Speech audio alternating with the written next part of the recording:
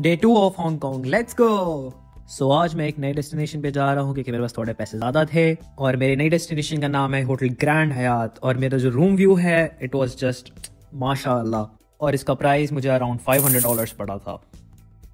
फिर इसके बाद मैं एक नए डेस्टिनेशन पे गया जो कि मोनोपोली ड्रीम्स था, जो कि हम बचपन में खेलते आए हैं। It was just an amazing experience for me क्योंकि मैं ऐसा लग रहा था कि वापस से बच्चा बन चुका हूँ। यहाँ पे एंटर करते के साथ ही हमने मूवी देखी। यहाँ पे दुनिया का सबसे पुराना मोनोपेली चेस बोर्ड देखा और यहाँ पे काफ़ी पुरानी ओल्ड गेम्स देखी और साथ ही साथ हमने यहाँ पे एक वर्ल्ड रिकॉर्ड एक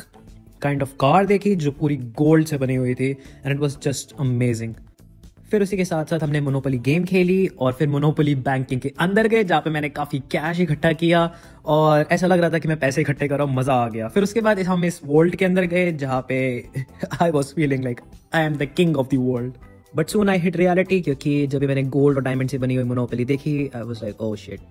पैसे नहीं है। जब मैं बाहर निकल रहा था तो मैंने ये डॉग के टॉयज और डॉग स्टॉप्स देखे और मैंने काफ़ी यहाँ पे आसपास डॉग्स भी देखे अपने, और फिर मैंने पूछा यहाँ के लोकल से कि क्या हांगकॉन्ग डॉग फ्रेंडली है? So it was yes you can bring your dog here क्योंकि ये एक बहुत ही डॉग फ्रेंडली कंट्री है। सबको यहाँ पे डॉग्स बहुत ही ज़्यादा पसंद है। And if you are a dog owner so you should definitely try to come over here